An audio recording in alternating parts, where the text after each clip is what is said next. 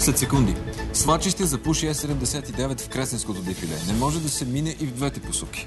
Двама 17 годишни загинаха на пътя край Айтос. И още.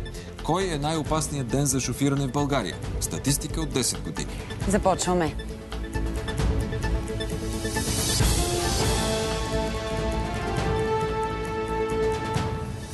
Още антикризисни мерки за работодатели и бизнес заради COVID-кризата ще бъдат отпуснати пари за фирмите за изграждане на детски кътове. Няма децата къде да си играят, къде да се а, социализират, деца вика в това време да не плачат от къщи или да създаваме проблеми. Премьерът обяви, че ГЕРБ не търси нови партньори за коалиция, правителството няма да подава оставка. Какви са версиите за тежката самолетна катастрофа в Украина, при която загинаха 27 души? Пилотът е много опитен. Можел е да кацне с затворени очи.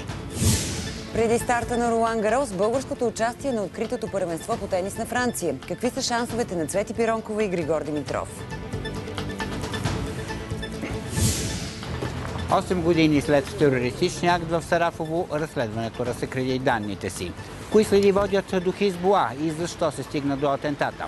Отговорите след новините.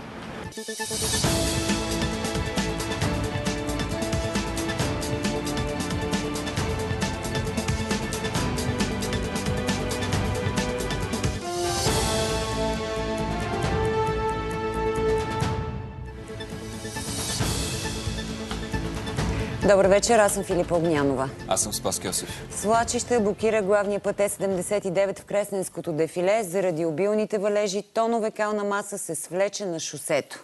На място е Антония Сукаринска. Здравей, Антония. Кога ще може да се минава през затрупания участък? Здравейте, колеги! Повече от 3 часа пътят през Кресненското дефиле е напълно блокиран и в двете посоки, а работата тук е изключително интензивна. Очаква се до 15-20 минути по думите на експертите от пътното управление пътят да бъде освободен. Вървят едни последни разчиствания на фадромите. Може да видите зад мен пристигна и пожарна, която да изчисти улиците. А какво, а, пътя. А какво се случи малко преди 17 часа тук в началото на Кресненското дефиле, близо до Симитли, се свлече огромно количество кална маса и двете платна бяха изцяло затрупани. За щастие, точно тогава тук не са минавали коли и пострадали хора а, няма. Три часа и половина вече казахме горе-долу. Продължава разчистването на пътя. Три фадроми са тук, като по думите на експертите от пътното управление, те са разчистили над 700 кубика кал. Казаха ни още, че точно на това място и преди две години е имало свлачище. Образуваха се големи колони и в двете посоки на пътя. Някои хора пък избраха обходния маршрут през селата Стара Кресна, Мечкул, Ощава, но неговото състояние беше изключително лошо и около 2 часа и половина отнемаше всъщност преминаването там. Какво ни казаха някои от шофьорите, които, с които разговаряхме тук, които чакаха с часове, за да преминат през Кресненското дефиле и да се разчисти пътя? Вижте, и ми направи впечатление за слабата организация тук по отношение на това свлачище. Чак на третия час видях да дойде една по-голяма фадрома. Преди това минаваха едни малки камиончета тук. Полицията 4, 5, 6 автомобила се разхождаха наляво-надясно. Никой не спира да каже на колоната, колеги, има катастрофа, има свлачище, изчакайте малко, да информира хората. Никой не се интересува тази работа. С две малки деца сме, не знам как ще издържат 5 часа още да висят тук. Това свлачище беше миналата година, Само, че беше вечерта.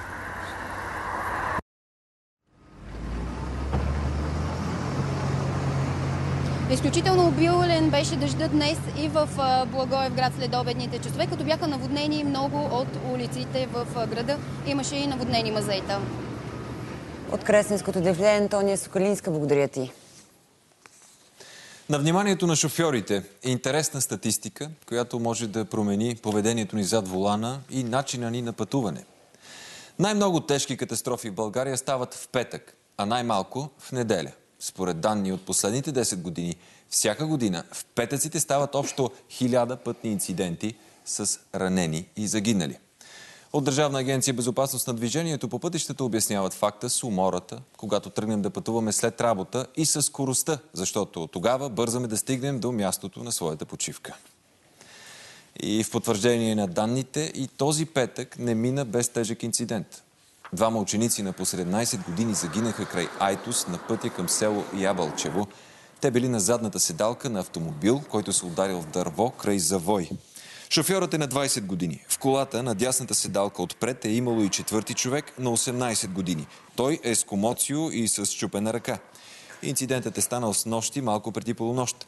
Шофьорът няма алкохол в кръвта. Най-вероятната причина е висока или несъобразена скорост.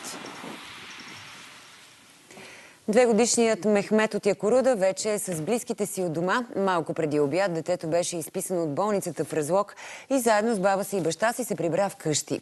Близките му обясниха, че детето е добре, но отказаха повече информация, докато тече разследването около мистериозното му изчезване.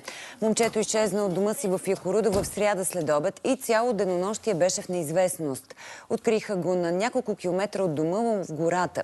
Близките са убедени, че детето е било отвлечено, но е възможно и Мехмет сам да се е загубил. Разследването продължава, а социалните служби ще следят как се отглеждат децата в семейството. Второ денонощие ръст на заразените с коронавирус у нас. 255 нови случаи при 5047 ПСР теста. Това означава, че 5% от изследваните са с положителни проби. Драстичен скок на заразените в Русия. Регистрирани са повече от 7000 нови случая. Световната здравна организация предупреждава, че жертвите на COVID-19 могат да достигнат 2 милиона преди масова вакцинация. Мащабно генетично проучване в Съединените щати показва, че вирусът мутира. При някои мутации той става по-заразен и преодолява бариери като носене на маски или миене на ръце. Пулмологът Александър Симечиев не очаква увеличаване на учениците, прияти в болница заради COVID-19. Според него вирусът ще се разпространява в училищата, но за учениците няма да има сериозни последици, защото те не попадат в рисковите групи. Симечиев обясни, че заради застудяването се очаква повишаване на нивата на фини прахови частици във въздуха, а това е предпоставка за по-лесно развитие на вирусни инфекции.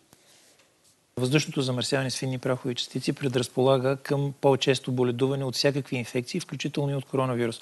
В Северна Италия, една от причините Северна Италия да е такова огнище, каквото беше в Италия в началото на пандемичния процес, беше, че това е най-замърсеното място от цялата страна. Още на здравна тема – недостиг на анестезиолози. 27% от лечебните заведения разполагат от двама реаниматори. Най-остра нужда от специалисти по интензивно лечение имат държавните и областните лечебни заведения. Данните са от проучване на инициативата Индекс на болниците. По информация на Министерството на здравеопазването, анестезиолозите у нас са около 1300. Най-много от тях работят в областите София град, Пловдив, Плевен и Варна. В условията на COVID-епидемия те трябва да поемат и дежурства в специализираните отделения за лечение на коронавирус. Най-малко специалисти по интензивно лечение има в областите Видин, Добрич, Кърджели и Перник. В болницата в Гоце Делчев ситуацията е критична. Лечебното заведение е на път да остане без анестезиолози. Директорът му е поискал помощ от здравния министр. Завеждащият отделението по анестезиология в Гоцеделчевската болница доктор Милан Парванов загуби битката с COVID-19 миналата седмица. Той от години се измъчваше буквално в тази болница, защото а, изнемогваше от работа. Последния път буквално молеше. А, изпрати някой просто да ме смени за няколко дена да мога да се прибера до къщи. Тримата анестезиолози, които работят на половин щат в болницата в Гоце Делчев, ще останат там до края на месеца. Така на практика лечебното заведение остава без такива специалисти. Такива места не са само там. Преодоляват се по някакъв начин изискванията с водене на лекари, които не са на работа реално и де-факто реалната работа вършат малко хора. В големите областни градове такива проблеми няма. В Шуменската болница анестезиолозите са 9. Трима са в пенсионна възраст, но продължават да работят. Не е излишно да имаме и допълнително в предвид обема на работа, който се работи, имайки в предвид това, че тази болница остана в областта единствената спешна болница. В Шумен се надяват да привлекат специализанти, които да помагат на анестезиолозите. В столичната Александровска болница специализантите са повече от лекарите. Истината, че сме доста натварени и кадрите са малко. Необходими са хора, които да осигурят смените при пациентите, които са с COVID-инфекция. Също време са необходими и достатъчно брой хора, които да покрият работата в операционните зали, грижата за останалите пациенти в реанимация. Анестезиолозите са принудени да дежурят извънредно. Ако някой от колегите заболее, а, не дай Боже, ще се затрудним, защото ще се натварим още повече. Въпреки, че специалността е трудна, много млади лекари искат да станат анестезиолози. Трябва да се направят такива условия, че те да не напускат, да остават страната. Трябва да се отвори, може би, по формата на повече места за специализация. По данни на Здравното министерство, в момента 270 души специализират анестезиология, а болниците са заявили потребност от 201. И още антикризисни мерки. От другата седмица работодателите ще могат да кандидатстват за изграждане на детски кътове в фирмите, а от следващия месец правителството отпуска близо 148 милиона лева в помощ на бизнеса. Днес Бойко Борисов коментира и темите оставка и коалиции. Идеята за детски кътове на работните места премиерът обяви първо във Фейсбук. Малко след това, при посещение на завод за автомобилни кабелни системи, Борисов разясни целта. Да могат родителите, особено майките, които са на гъвкаво работно време или се налага да задържите повече или да ги извикате повече на работа, да има децата къде да си играят, къде да се социализират, деца вика в това време да не плачат къщи или да създаваме проблеми. Това ще струва на бюджета 15 милиона лева, а следващия месец още 68 милиона ще бъдат дадени на фирмите с над 500 хиляди лева оборот за справяне с COVID-кризата. Пари ще има и за малките и средни предприятия, които имат нужда от преустройство на производствата си. Маски, дезинфектанти, входове, шлемове, каквото е необходимо, подкрепяме фирмите, за да може да не спира. Премиерът провери и пречиствателната станция в Айтос и ремонта на Айтоския проход. Не може с коичка, само те от София си мислят, че е така става. Нещо. По време на инспекцията потвърди, че не планира да подава оставка. Ако имаше на кого веднага да отидем да дадем. Категорично отрече и вероятността ГЕРБ да търси нови партньори за коалиция. Те, които си правят тънки сметки, да им споменавам имената, че така им се дига таксите, могат да бъдат с ГЕРБ само в опозиция. Имаме си достатъчно партньори, СДС, патриотите, имат непротивническа и патриотична ориентация. Земеделците, най-добрите. Така че не правят сметка за коалиции. Първо ние на Конгрес сме решили с БСП и ДПС да не правиме коалиция. Така че нашите партньори са ясни. На кабинета си Борисов дал още една задача – да бъдат построени поне три нови язовира, за да няма нови проблеми с безводието. Президентът Румен Радев не смята да започва нов политически проект и обясни защо. Коментира и обвиненията на премиера относно снимките от резиденция Бояна. Държавният глава посети Карнобат по случай празника на града. Президентът Радев заяви, че все повече партии и организации изразяват подкрепа към президента, но не смята да започва нов проект. Аз отдавна съм заявил, че подкрепям всяка организация, партия, движение, чието приоритет е българския народ, а не тясно партийни интереси.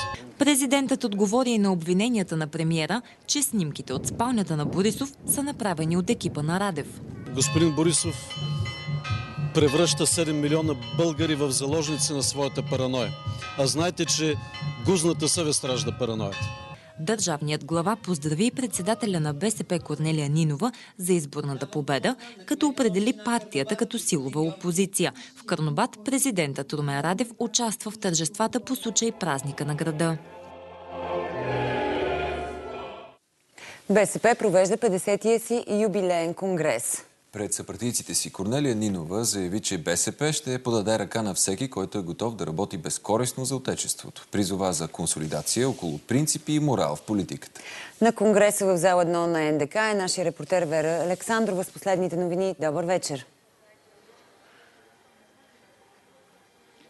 Добър вечер. Пред Конгреса Корнелия Нинова благодари за подкрепата, която получи по време на прекия вод за избор на лидер на партията. Обеща да работи за това БСП да стане първа политическа сила. Според нея изборите са показали, че БСП е модерна и демократична, а хората са консолидирани. Още акценти от днешния конгресен ден вижте в репортажа.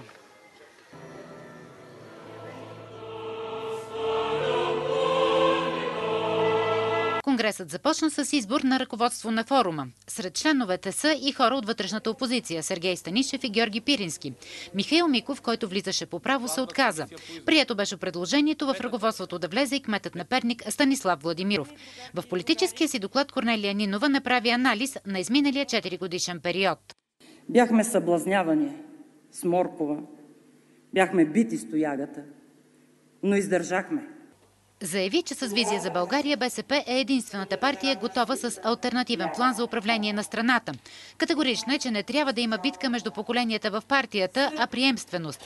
Поздрави са партийците си за високата активност по време на прекия вод, както и за добрата му организация.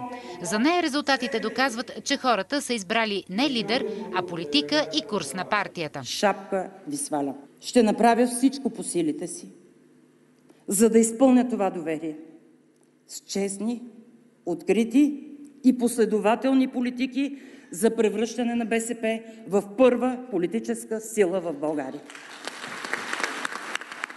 Каза, че БСП ще се бори за създаване на широк фронт от самишленици за смяна на модела на управление в България и налагане на лява альтернатива.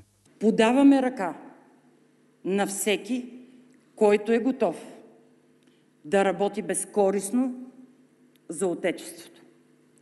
Добре дошъл е! Всеки, който иска да прави политика с грижа за хората. Уточни, че не би приела сговор с задколисието и в партията, и в държавата. След 4 години усилия и труд е време да получим този успех. Победата на парламентарните избори. Не за постове, а за лостове за промяна на България. Голямата интрига на Конгреса е кой ще влезе в Националния съвет на БСП. Това е органът, който одобрява важните решения на партията. Затова за всеки лидер е важно да работи в синхрон с пленума.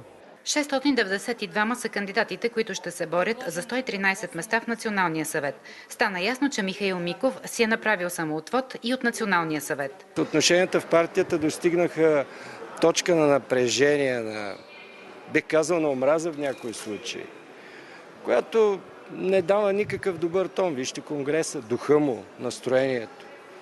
А, нещо, което просто не си струва в един момент. Да не говорим, че а, очевидно целта на Нинова в този мандат е да овладее Националния съвет. 114 младежи пък ще се борят за 37 места от младежката квота в Националния съвет. Бюлетините, с които ще гласуват делегатите, все още се печатат. Гласуването ще започне около 10 часа тази вечер, а резултатите ще разберем утре сутринта. От Конгреса на БСП, Вера Александрова, благодарим ти. Общото събрание на прокурорите избраха единствения кандидат за нов член на Висшия съдебен съвет Евгений Иванов. Изборът е легитимен заради избирателната активност, която надхвърля необходимия минимум от над 50%. Иванов събра и необходимата подкрепа на 841 от гласувалите, общо 959 негови колеги. Това означава избирателна активност над 62% от имащите право на глас, общо 1531 прокурори. Евгений Иванов ще довърши последните близо две години от петгодишния мандат на настоящия Виш съдебен съвет. Той влиза в състава на мястото на Даниела Машева, която стана заместник главен прокурор. До момента новият член на кадровия орган на съдебната власт беше прокурор във военно-апелативната прокуратура. Той е и председател на Асоциацията на прокурорите вече трети мандат. Искам да благодаря на колегите за доверието и подкрепата. Защото те доказаха, че са институция. Прокурорите са институцията прокуратура. И те доказаха, че не се поддават на външни вношения и давления. ще се постарая да съм представител на прокурорите в Висшия съдебен съвет. Благодаря ви. Протестите в София продължават 80 ден. От площад Независимост включваме Зоя Велинова. Добър вечер. Добър вечер от площад Независимост. Виждате обстановката каква е около мен. Сравнително спокойно протича протеста. Към 19 часа тук започнаха да се събират протестиращи с познатите искания за оставката на премиера Бойко Борисов и главния прокурор Иван Гешев. Няма я обаче видеостената върху сградата на партийния дом, няма оратори. Единствено камиона с озвучителна техника е препречил булевард Цар Освободител, така че движението тук по булеварда е блокирано. Булевард Ондуков обаче е отворен. И за още един протест днес а, пред съдебната палата тук се събраха представители на гражданско сдружение Боец, както и Млада гвардия. Те изразиха своето недоволство във връзка с избора днес на представител на прокурорите във Висшия съдебен съвет. По-точно това, че та единствена кандидатура има за поста, тази на Евгений Иванов. Според тях това е предпоставка за още по-голяма власт в ръцете на главния прокурор Иван Гешев. За пореден път те поискаха и неговата оставка. Връщаме се отново тук на площад независимост. Всеки момент очаквам да разбера ще има ли протестно шествие до Орлов мост, но отново повтарям, абсолютно спокоен е протеста тази вечер без провокации. Към вас, колеги. Зоя Велинова за лицето на протеста тази вечер. Темите от света. Украина е в траур. 26 души загинаха при катастрофа на военен самолет с нощи край Харков. Повечето жертви са кадети от местния военен университет. Основната версия за трагедията е техническа неизправност. Още за катастрофата от Биляна Бонева. На 2 километра от летището в Харков, близо до основния път, камери заснемат последните секунди от полета на Ан-26. На борда е имало 27 души, 7 членен екипаж, останалите са кадети от 3 и 4 курс. Малко преди катастрофата командирът на екипажа подал сигнал за проблем с левия двигател. Според диспетчерите, пилотът звучал спокойно и уверил, че ще преземи машината с един двигател. При захода самолетът лумнал в пламъци. Двама от кадетите успели да се спасят, но получили тежки изгарения. Пътувахме, когато самолетът падна пред нас. От него излезе мъж в пламъци. С хората от друга кола взехме пожарогасителите и се опитахме да му помогнем. Тогава от самолета излезе още един мъж. Главата му беше наранена. По-късно един от кадетите починал от раните си. От военния университет твърдят, че преди полета самолета бил в техническа изправност. Вчера извършил 6 тренировъчни полета. Пилотът е много опитен. Той е познавал много добре това летище. Можел е да кацне с затворени очи. На мястото на трагедията пристигна украинският президент. Съставена е разследваща комисия от пилоти, служители на военното и вътрешното министерство, прокуратура и Държавното бюро за разследване. Телата на жертвите са напълно обгорели, което ще забави разпознаването им. Държавният глава Ромен Радев изказа съболезнования по повод жертвите на самолетната катастрофа, при която загинаха млади украински военнослужащи. Главният заподозрян за вчерашната атака край старата редакция на Шарли Ебдо е признал за деянието си. Той е 18, 18 годишен пакистанец и рани с сатър двама души. Френската полиция задържа общо 7 души за атаката, определена от властите като терористичен акт. 18-годишният пакистанец с малко име Али е задържан почти веднага след като е ранил мъж и жена от информационна агенция в Париж. Арестуване на 500 метра от местопрестъплението. Роденият в Исламабад младеж е живял с няколко свои сънародници в предградие на френската столица. Петима от тях са сред арестуваните. Властите нямат съмнение за характера на случилото се край старата редакция на Шарли Ебдо. Очевидно това е акт на исламистски тероризъм. Прокуратурата е сезирана за тероризъм. Случи се на улицата, където беше Шарли Ебдо. Начинът на действие на исламистски терористи. Това е нова кървава атака срещу нашата страна, срещу журналисти. Младият пакистанец е признал за деянието си преди началото на разпита, проведен с преводач. Според френски медии той бил потикнат от повторната публикация на карикатури на пророка Мохамед от Шарли Ебдо, които не могъл да понесе. Искал да атакува журналисти от сатиричното издание и мислял, че то още се помещава на стария си адрес. За подозреният пристигнал във Франция преди три години като непридружаван непълнолетен. Смята се обаче, че е бил по-възрастен.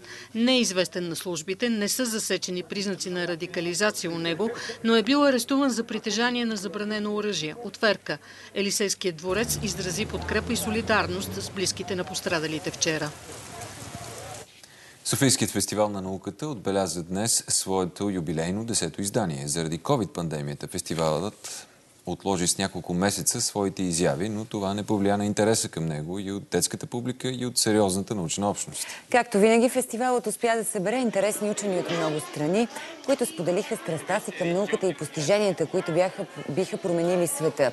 Стана среща между бъдещи и настоящи учени. И този път Софийския фестивал намери подкрепата на много партньори, а еврокомисарят по наука и технологии Мария Габриел избра да обяви именно тук важна европейска инициатива. Само след седмица ще излезем с съобщение по отношение на новото европейско образователно пространство, което трябва да бъде реализирано 25-та година. Искаме да вдъхнем динамика на европейското научно-изследователско пространство. И за мен тук България с талантите, с учените, с демонстрациите, които виждаме, има своето достойно място.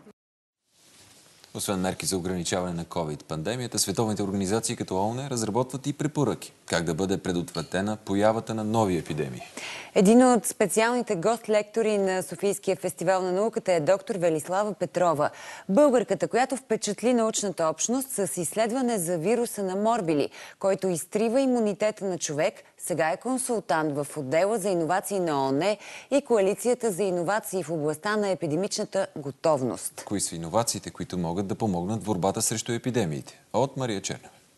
Морбили съвсем не от безобидните инфекции. Знае се, че напада онези клетки в организма, които са носители на имунната памет. За да разбере какво се случва с тях, Велислава Петрова изследва преболедували деца от общност на ортодоксални протестанти в Холандия, която ваксините са табу.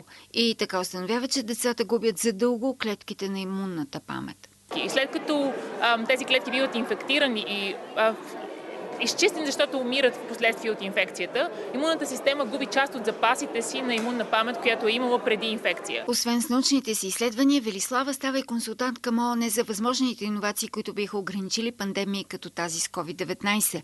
Опитът от нея извади на преден план разработки, които намаляват натиска върху здравните системи. Така че голяма част от иновациите свързани с това да може много по-оптимален начин да се да триажират пациента, т.е. да се знае кой трябва да влезе в болница, кой трябва да, да бъде диагностициран в къщи. Така че има много такива електронни картони, електронни системи, които въведоха нуждата от дигитализация на, на здравни заведения. Има какво да се направи и за да се намали риска от възникване на нови епидемии, показват анализите до тук. Знае се, че голяма част от нововъзникващите вируси идват от азиатските страни. Държави извън Китай е забранен търговията и пазарите с диви живи животни, докато в Китай това не е така и както сама казахте, това означава, че в много случаи такъв тип вируси, които са обикновено в при животните, могат много лесно да бъдат предадени при човек. Епидемиите обикновено тръгват от страни, в които достъпа до здравеопазване е много труден. Затова не всичко опира до технологии, иновации и изкуствен интелект. Наближава спортното събитие на седмицата. Утре започва Ролан Гарос. Един от четирите турнира от големия шлем трябваше да се проведе по план през май, но пандемията го отложи с 4 месеца. Българската национална телевизия ще ви покаже на живо всички най-интересни матчове. Какво да очакваме в Париж през следващите две седмици и кога да очакваме матчовете на българите на турнира. Сега ще ни каже Стефан Георгиев. Добър вечер! Добър вечер. По-добре късно, отколкото никога. Четири месеца е доста сериозно забавене, но важното е, че Руан Гарос се завръща и то в ефира на Българската национална телевизия. Това, което трябва да кажем е, че вече повече от 120 години се провежда един от най-важните четири турнира в тениса. Това ще бъде негово 90-то издание само в Олпанерата. Само по хиляда души ще бъдат допускани на ден на кортовете, за да се предпази евентуалното разпространение на COVID-19. Иначе над 250 тенисисти ще опитат да спечелят при мъжете и при жените един от най-важните трофеи в този спорт. Другите любопитни детайли са свързани с това, че централният корт Филип Шатрие ще бъде с покрив, който за около 15 минути ще може да бъде спускан при лошо време. Очаквани такова, между другото, в идните дни, но да, да не изземам функциите на Павлета Терзийска, която ще видим малко по-късно в прогнозата за времето. А, иначе другото важно, което трябва с сигурност да кажем за Руан Гарос тази година е, че ще има Advantage сет. Ако има тайбрек и 5 сета, то тогава ще има два, два гейма разлика между тенисистите, които трябва да определят победителя, а не тайбрек, както е във всички останали три турнира от големия шлем. Иначе, кои са звездите тази година? Както обикновено, Рафаел Надал ще преследва 13-та безпредседентна титла в Руан Гарос. Той ще има за голям съперник Новак Джокович, световният номер едно. При жените шампионката от миналата година Ашли Барти няма да защитава титлата си, защото тя отказа да пътува за, до Париж заради COVID-19. Нас обаче най-много ни интересуват, разбира се, българските представители. Григор Димитров ще опита да прескочи трети кръг на Ролан Гарос, нещо, което не е правил никога, а там той отпада в последните три години неизменно. Цвети Пиронкова пък ще опита да ни очарова за пореден път след фурора, който направи преди няколко седмици в Нью Йорк на откритото първенство на Съединените щати. Каква е програмата на двамата? Ами доста любопитна. В понеделник ще играе първо Цвети Пиронкова срещу Андрея Петкович. Във вторник пък е ред на Григор срещу Грегуар Барер почти негов адаш, така че доста интересно. Имаме екип, между другото, и във Франция. Рекламирах прогнозата на времето, да рекламирам и спортните новини. После ще видим какви ги вършат нашите хора в Париж. Благодаря ти, Стефане.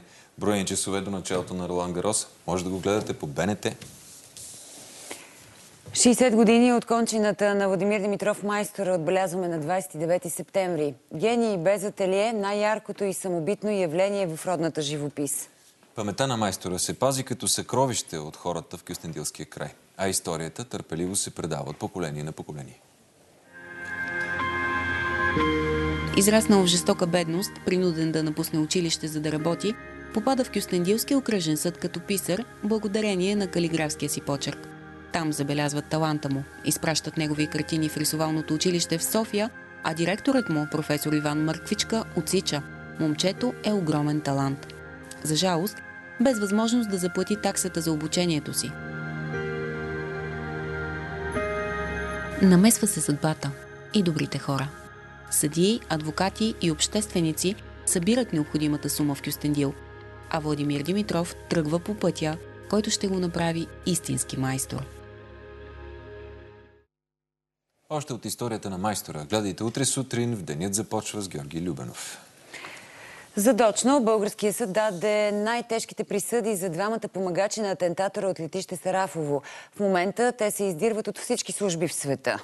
Мелият Фарах и Хасан Ел Хач Хасан са осъдени да платят и рекордни за нашата съдебна практика обещетения за общо над 100 милиона лева. Присъдите идват 8 години след терористичния акт. Иво Никодимов е в студиото ни и следи развитието и разследването и делото през цялото това време. Добър вечер, Иво. След новините тази вечер ни връщат към атентата. Защо? Добър вечер. Важно е да се върнем, защото делото даде възможност да видим цялостната картина на случилото се на 18 юли 2012. Намерихме отговор на въпроса защо Хизбула се смята за организация, която стои зад този атентат, но и защо едни страни, като САЩ и Израел, са обявили в цялост тази организация за терористична, а други, като Европейския съюз, например, обявяват за терористична само военното крило на Хизбула. При това забележете, точно година и 4 дни след адския взрив на бургаското летище отнел живота на един български гражданин и шестима израелски туристи. И още един детайл, неизвестен до момента. Част от взривното вещество е внесено у нас от ливанец, роден в България. Повече интригуващи детайли в след новините след секунди. Благодарим ти, Иво. Останете се след новините. Още актуална информация ще намерите и на сайта ни bnetnews.bg и в мобилното ни приложение. Приятна вечер!